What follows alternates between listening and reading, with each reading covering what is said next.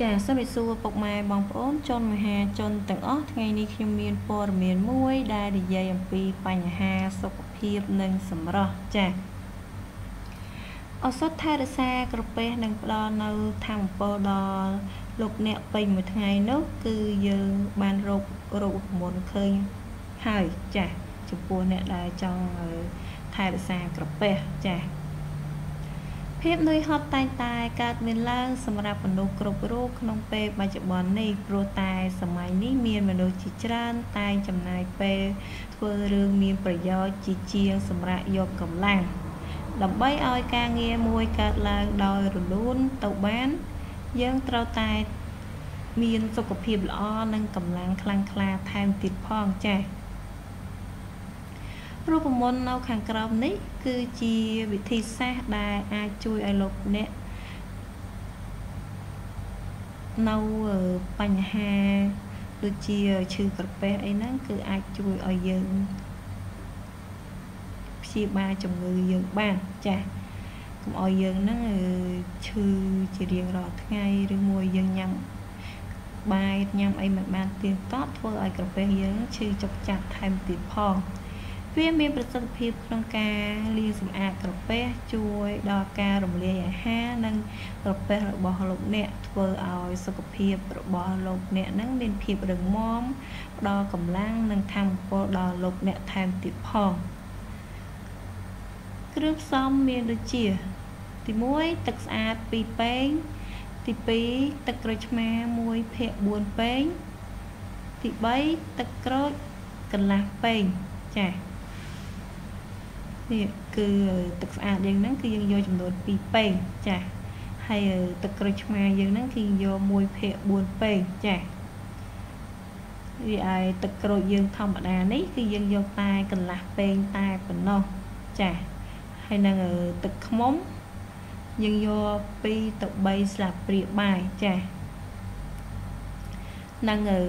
អំបិល1ចិបអំបិលតែបន្តិចចាស់អំបិលបន្តិចមកបានហើយគឺកុំយកកុំយកច្រើនពេកចាស់ការរៀបចំមានដូចជាចាក់អឺទឹកក្រូចឆ្មាចូលទៅក្នុងកែវមួយចាស់គឺទឹកក្រូចស្រស់ចាស់ទឹកក្រូចស្រស់យើងហ្នឹងគឺយើងយក ទៅចាក់ទៅក្នុងកូនកែវមួយចាស់តាមរូបនេះយើងមានរូបឲ្យអ្នកទាំងអស់គ្នាមើលចាស់រីឯទី2បន្តមកអឺបន្ថែមទឹកក្រូចឆ្មាចាស់នេះទឹកក្រូចឆ្មាយើងហ្នឹងច្របល់វាឲ្យបានសព្វល្អចាស់គឺទឹកក្រូចឆ្មាយើងហ្នឹងគឺយើងចាក់ចូលទៅក្នុងកែវដែលយើងចាក់ទឹកក្រូចស្រស់ចូលចាស់រីឯទី3យើងបន្ថែមទឹកខ្មុំចាស់ បន្ទាប់ពីយើងចាក់ទឹកក្រូចឆ្មាចូលហើយគឺយើងចាក់ទឹកខ្មុំចាស់បន្ទាប់ពីយើងចាក់ទឹកឃ្មុំចូលរួចហើយយើងចាប់ផ្ដើមចាក់ទឹកចាចាក់ទឹកយើងហ្នឹងចូលច្របល់បញ្ចូលគ្នាឲ្យបានសព្វល្អចាគឺយើងចាក់ទឹកចូលហើយយើងចាប់ផ្ដើមកូរវាកូរវាចូលឲ្យបានសព្វគ្នាល្អចាបន្ទាប់ពីយើងកូរវាឲ្យបានសព្វល្អហើយ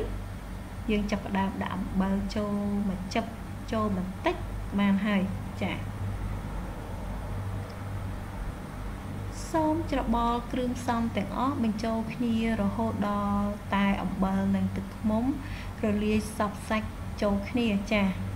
បន្ទាប់ពីយើងចាក់អំបិលចូលហើយយើងចាប់ដើមកូរវាកូរវាឲ្យសព្វឲ្យទឹកឃ្មុំនោះរលាយចូលសព្វសាច់គ្នាល្អហើយអំបិលយើងហ្នឹងគឺរលាយអស់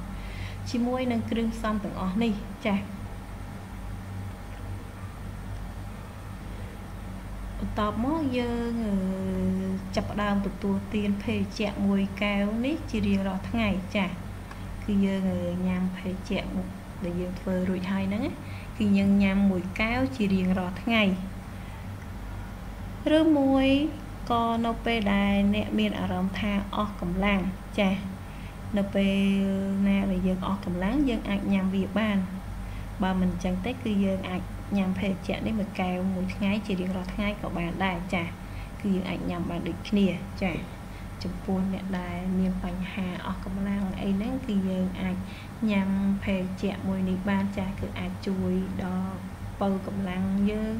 អាចជួយដល់ក្រពះយើងថែមបានទៀតផងចា៎ ចំពោះអ្នកដែលមានបញ្ហាក្រពះអីហ្នឹងគឺយើងអាចញ៉ាំវាបានដូចគ្នាចា៎ចាប់ពេលនេះវីដេអូរបស់ខ្ញុំសូមបញ្ចប់ត្រឹមនេះសូមអរគុណពុកម៉ែបងប្អូនសូមជម្រាបលា